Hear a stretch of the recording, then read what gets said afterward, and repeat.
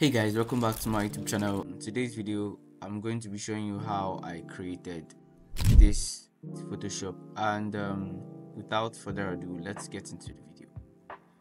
Okay um i'm going to open up my photoshop and then i'm going to import my image. The first thing i want to do here is to duplicate this image. You can press ctrl j to do that. I'm going to change this to convert this to a smart object and then um, I'm going to create a new document. So I'll tap ctrl a here and ctrl c.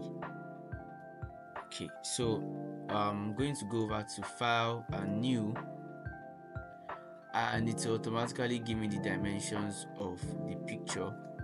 That is what I want. So over here I'm going to create a new layer and go back to gradient make sure my gradient is is transitioning from black to white. Okay so I'm going to make gradient here from here to here. I'll make this medium gray so that you see what I'm doing. Then I'm going to convert this to a smart object. I'll hold Ctrl T and then I'll drag this here while holding shift until it's very small like this. Okay I'm going to duplicate this. One two just highlight three of them. Just hold shift so that will be on the same line. Hold everything and then hold shift and yeah. I want to select everything and reduce it again because I want my um, effect to be very pronounced. Okay just like this and I'll select this four and um, and yeah I'm just going to push it a bit. Okay so um you're going to select everything from beginning to the end and hit ctrl E.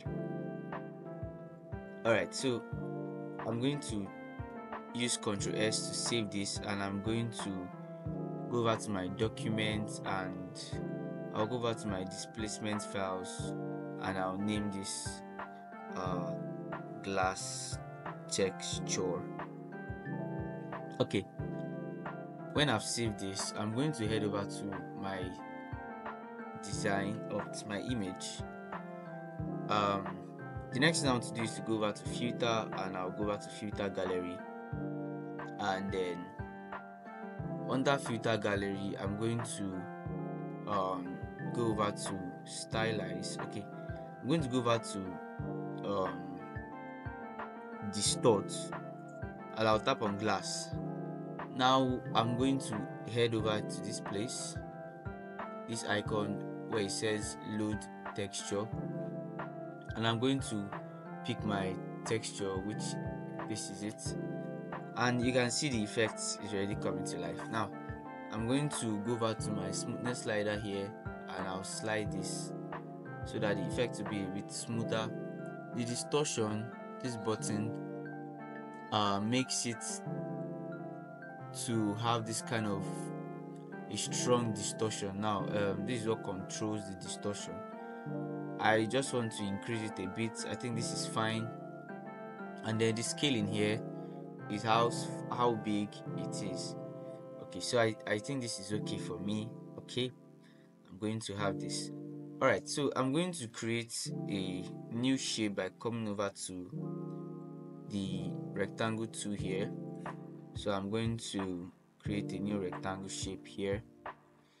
And then I'm going to carry this um, my effect up and then I will clip mask it into this place okay now um i can carry this anywhere i want. And you can see the effects plays on his body. Now i don't want i want to increase uh, reduce the distortion on his face because the eye looks creepy. Um okay i'm going to reduce it. Um i'm going to increase the scaling and the smoothness needs to go down a bit.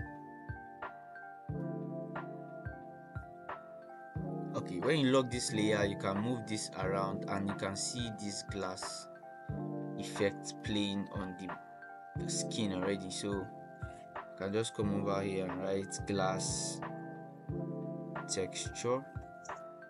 Um okay. And I'll carry to the front going to release this clip mask here so that you can see the text.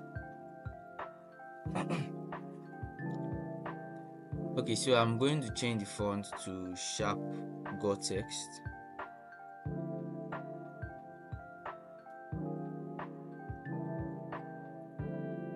Okay um i'm going to choose one from here. Sorry sharp gore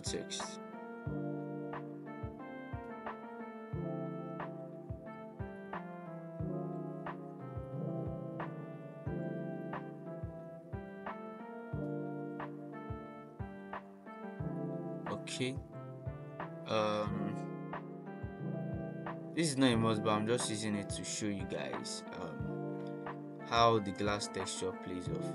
And you can also come over and add some more effects um let me do this with another picture. So i'm going to hit um i'm going to my home and then i'm open and i'm going to open um another picture. Now you can go over to um you can go over to pinterest.com if you want to get pictures like this one. You can head over to pinterest on your chrome browser um, pinterest.com and you can just type in um, okay you can get image like this. You can use this one. And yeah these are the images. Now let me download this one so that we use this one as an example. I like the reddish um, color. You can also check if you see any um, picture that you like. I'm going with this one so i'm just coming here and i'll download it. So i'm going back to photoshop and okay we can see use this picture. So we'll follow the same steps just duplicate this convert this to a smart object. And since we've done the effect already i'm going to filter gallery. I'm just going to load. Yeah this is this is perfect. This is the glass texture here. And you can also go over to your layer mask and then um, control i so that you can paint in can paint it on the part that you want it to show just like this. And you can make your brush harder so that the effect shows very well here and here. Yeah just just like that. Yeah you can see how beautiful this effect is on the body. This is really nice. And you can also go by and um, and just merge all of them into one layer. Go over to your camera raw filter. You can use ctrl shift a to head over to your camera raw filter.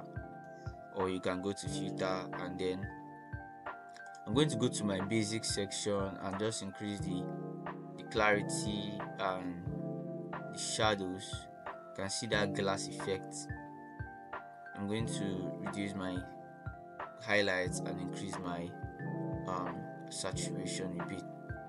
I'll go over to detail. I'll increase my sharpening and increase my noise reduction. Don't do it too much just a bit. Yeah just like this is perfect. And you can see the before and the after. Just like that yeah so um this is the before and the after. You can also go ahead to add over effect but this is the effect you want to be doing today and yeah that is all you need to know about the fractal glass effect in photoshop. Um, i'll see you in the next tutorial. Till then peace out and stay safe